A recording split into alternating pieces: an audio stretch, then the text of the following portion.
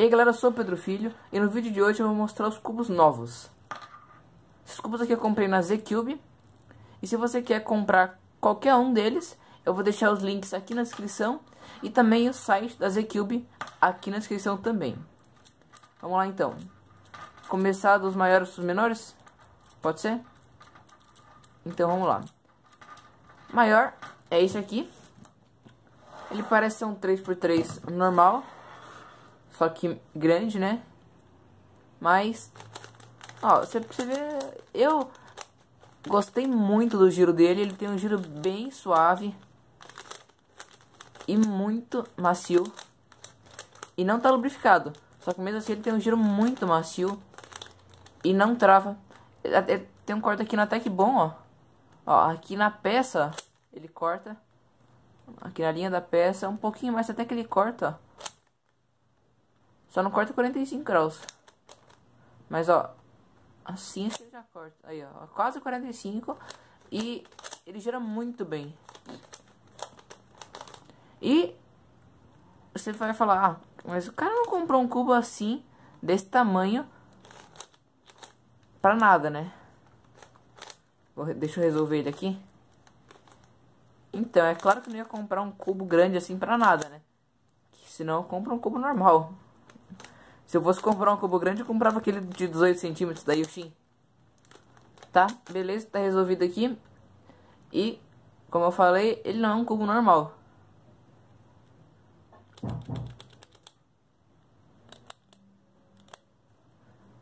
Você pode ver que aperta aqui, ó.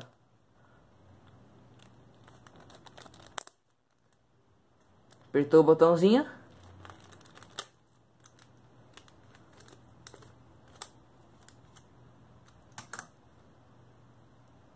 Ele é tipo de um pote. E óbvio que aqui, né, a peça vai sair. Então você não pode mexer.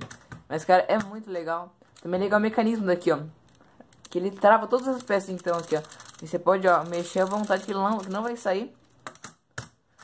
E aqui dentro tem um pote. E, cara, eu fiquei muito impressionado com esse cubo, que ele não é, não, não é muito maior que um 3x3. Vou pegar um 3x3 ali pra você ver. Tô aqui com 3x3. E ele não é muito maior. Ó, pouca coisa maior. E, cara, ele tem um giro muito bom. Pra ter um pote dentro, né? E se você não sabe qual é o mecanismo dele, ó. Vou mostrar aqui. Ele é tipo de um core de um 4x4 ou de um 2x2. Aqui, ó. Uma bola. E aqui, ó. Vou tirar todas essas peças aqui. Ó, aqui dá pra ver bem certinho.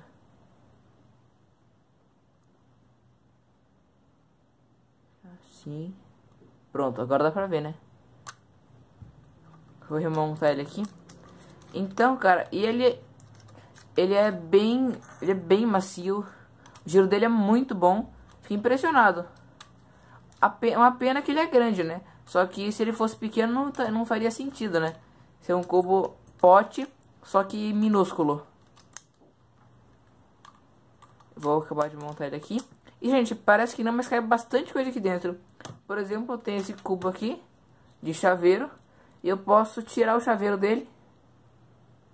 Deixar um, um cubo mini normal. Só o cubo. E... Guardar aqui dentro. E fechar. Só que eu não vou fechar porque eu vou ter que abrir depois, né? Pronto. Deixa aqui do lado, depois eu ponho. E inclusive ele cabe moedas. Deixa eu abrir aqui o cofre. Pegar algumas moedas aqui. Opa!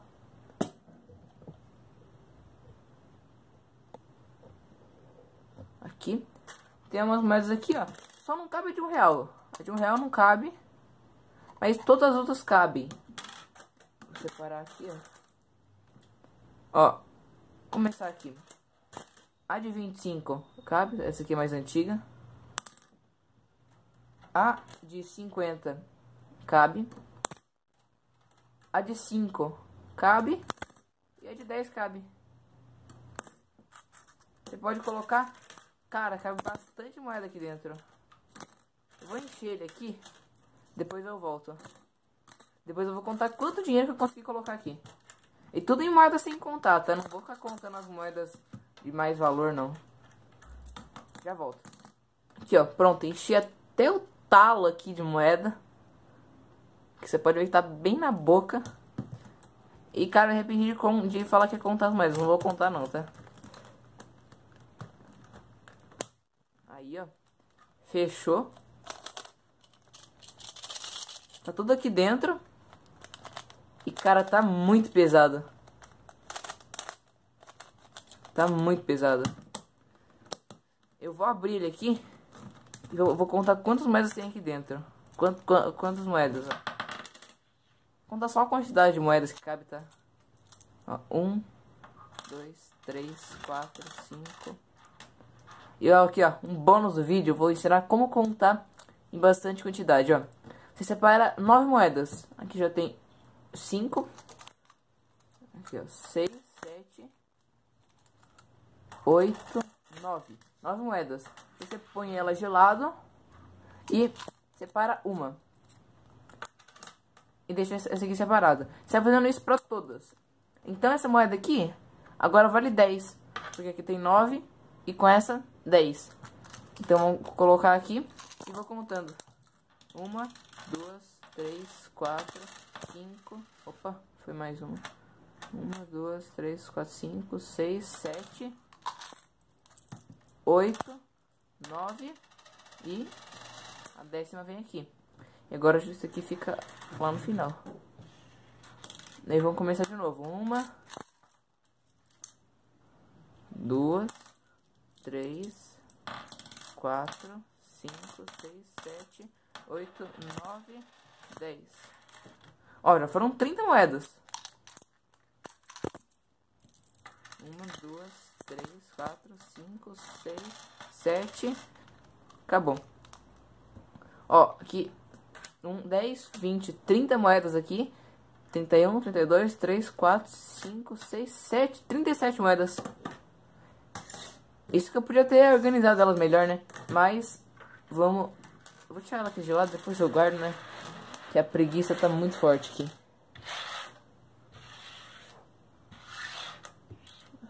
Isso já tá bom, né? Só tirar elas do quadro aqui. Beleza. Tá. Vamos voltar aqui pro vídeo, né? Que eu dei uma, uma bela de uma distraída aqui, né? E pra fechar bem fácil também, né? É só apertar. Ele vai dar esse estralo mesmo. E vou falar um negócio que eu não gostei nesse cubo aqui. Primeira vez pra abrir é muito, é muito difícil. Sem noção esse aqui pra abrir. É a primeira vez. A, a, até a terceira é bem difícil. Depois é bem facinho aqui, ó. Mesmo com o, o punho quebrado. Ó. Bem de boa. E pra fechar também. E, cara, na primeira vez, pra fechar essas graças aqui também foi muito difícil. Você vai precisar de... Você vai precisar de bastante força pra abrir. Uma, uma coisa que eu fiz foi apoiar ele na mesa.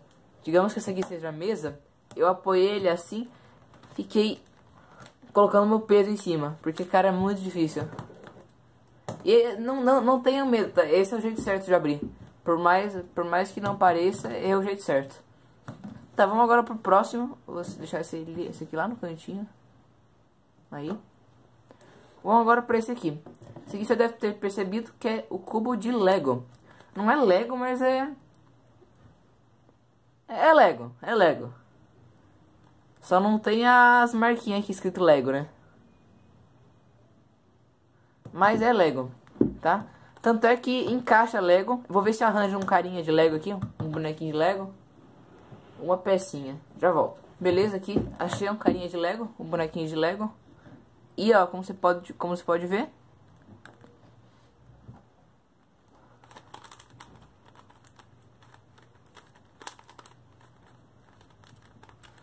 Encaixa certinho.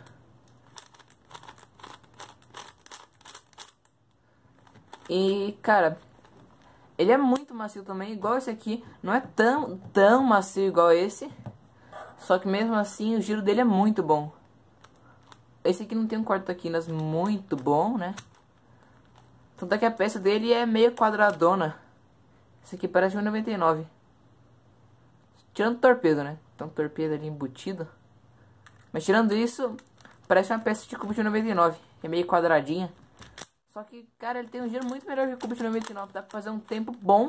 Tirando o fato de que é Lego, né? Dá pra fazer um tempo muito bom com esse cubo aqui.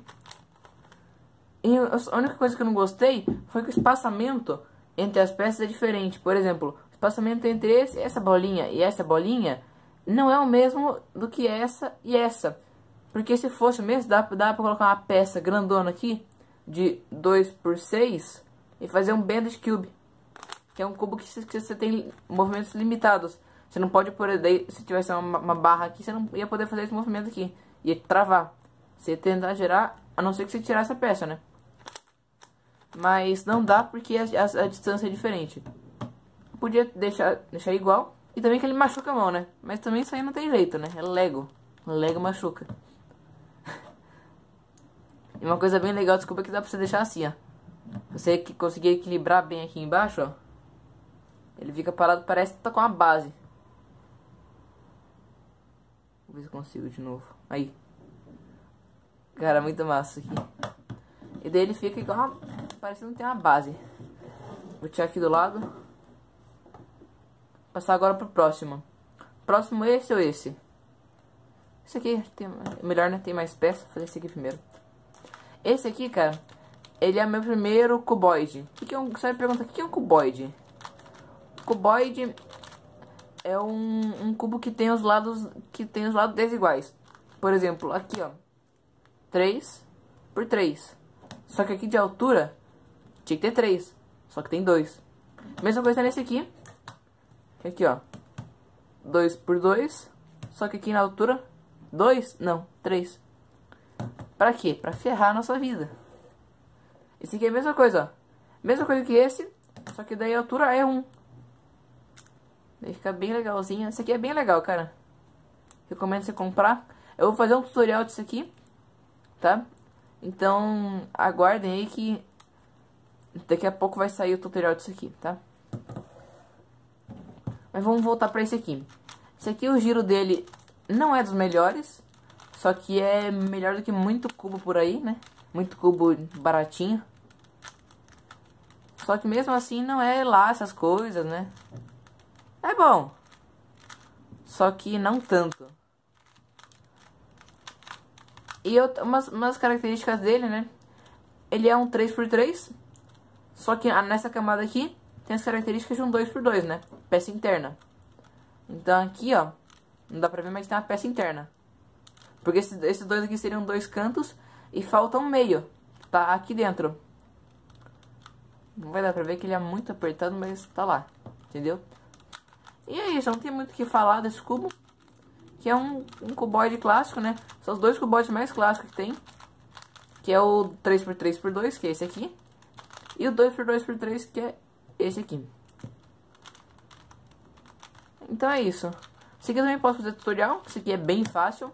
Por mais que não pareça, né? E ele não deforma. Porque você pode fazer esse daqui, ó. Mas ele até que dá uma girada, mas não é muito. Assim, ó. Ele dá uma giradinha. Só que daí aqui ele trava, né? Você não consegue fazer mais nada daqui. Só pra falar que gira, né? Mas não... não ele trava. Próximo cuboide, esse aqui. Esse aqui é, por incrível que pareça, basicamente a mesma coisa que esse daqui. Só que ele não tem essas peças no meio, né? Então, para resolver, os cantos são iguais. Mesma coisa do que resolver esse aqui é esse. Então, é igual. Só que esse aqui, você vai ter que resolver esses meios aqui. E esse você vai ter que resolver essa camadinha aqui no meio. Esse aqui é um pouquinho mais fácil que esse. E ele tem um giro um pouquinho melhor e fica fazendo esse barulho de mola. Vamos ver se, aqui dá, se dá pra ouvir. Colocar do lado do microfone. Tá ouvindo? Tá vendo esses... É o barulho da mola raspando. Alguns cubos um pouco mais caros, ele tem uma, argo, uma argolinha entre a peça de plástico e a mola. Que daí não deixa ficar, ficar fazendo esse barulho. Mas esse aqui não tem. Ele fica fazendo esses barulhos assim. E é esse cubo aqui, ele também é clássico, muito bom. E também, inclusive, tudo que eu não esqueci de falar, que todos esses cubos aqui são muito baratos. Menos esse. Esse aqui ele foi um pouco caro. Eu vou falar, eu vou falar os preços que eu acho que são, que eu não lembro direito. Já faz um, um, um mês, dois meses que eu comprei. Esse aqui foi uns 30, mais ou menos, tá? Mais ou menos. 32. Esse aqui foi uns 13, 12. Esse aqui, eu acho que foi 8 reais. Esse aqui, 8 reais também. Esse aqui, 7. E esse aqui, 7 reais. Então é isso. Vamos pro próximo aqui, que é o flop. Só que esse aqui não é o flop normal. Esse aqui é o super flop. Que deixa você fazer isso. É bem legal. E esse aqui é muito fácil. Não pode, pode não parecer, ó, porque ele deforma inteiro. Você pode deformar ele bastante. Deixar ele bem esquisitão. Só que no final, isso te ajuda. Porque, por exemplo, eu tô aqui resolvendo. Vou dar uma resolvida nele aqui, rapidão.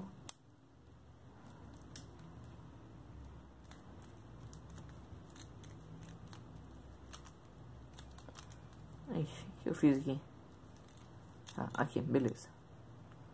Tá, agora, por exemplo, esses, esses casos aqui. Aqui em volta, tá tudo certo.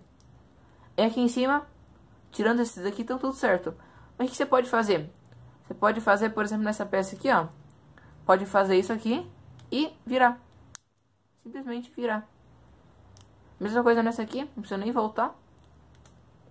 Virar aqui e mesma coisa aqui. Simplesmente você vira, só.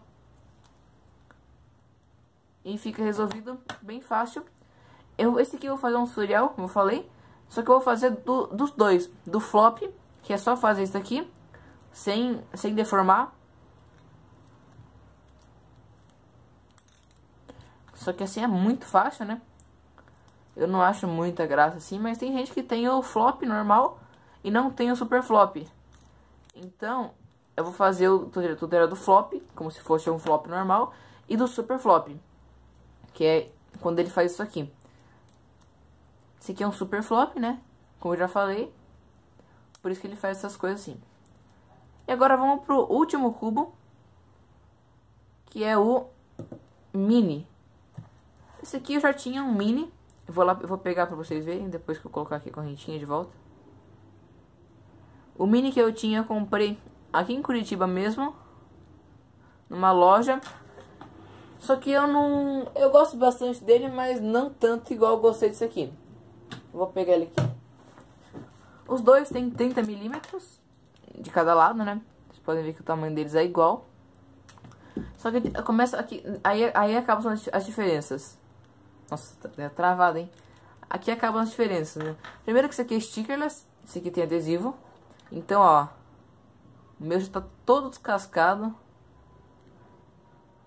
Ó, aqui tá bem descascado. Então já tá bem ferradinho. E esse aqui, né, é stickerless. No máximo vai sujar, riscar, mas daí riscar dá pra prevenir e sujar dá pra, lá, pra limpar. E Outra coisa é que ele vem com correntinha, né? Dá pra você colocar de chaveiro. Coisa que esse aqui não tem. Esse aqui é só, só um cubo normal, só que pequeno. Esse aqui é um chaveiro de verdade. E esse aqui, ele gira muito melhor, porque esse aqui é da Moyu, né? Esse aqui é da Dainsheng. Não sei se vai dar pra ver, vou dar um zoom aqui. Ali, ó, Dainsheng. Esse aqui, da Moyu, não tá escrito aqui, mas é da Moyu. E ele é muito bom, cara. Vou tirar a correntinha aqui. E dá pra fazer um sub 40, sub 50 com esse aqui. Claro, né? Porque eu faço em 30 segundos, mas tem gente que faz em 10, consegue fazer uns 15, 20 segundos esse cubo aqui.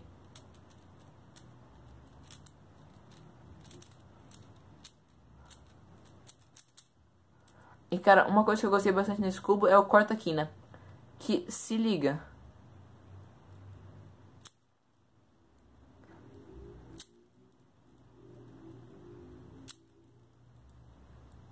Isso! de boa. Tô nem fazendo força. Ah, bom, né? O cara quase chegando lá no, na, na outra peça e ele corta. Daí para, né? E o corte aqui no reverso também é bem aceitável. Só que ele não tem muito espaço aqui, né? Pra deixar... Pra fazer o corte aqui no reverso. Porque também, senão, né? O cubo ia ter que ser um buraco gigante aqui no meio, né? Mas, cara, eu tô muito impressionado com esse cubo, ó. Reverso. Ele corta pra caramba.